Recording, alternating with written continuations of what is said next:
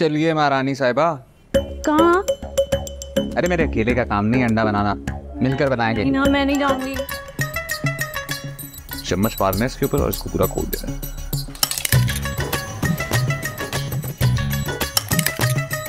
सब्ज़ी काटो मैं इसको देखता हूँ।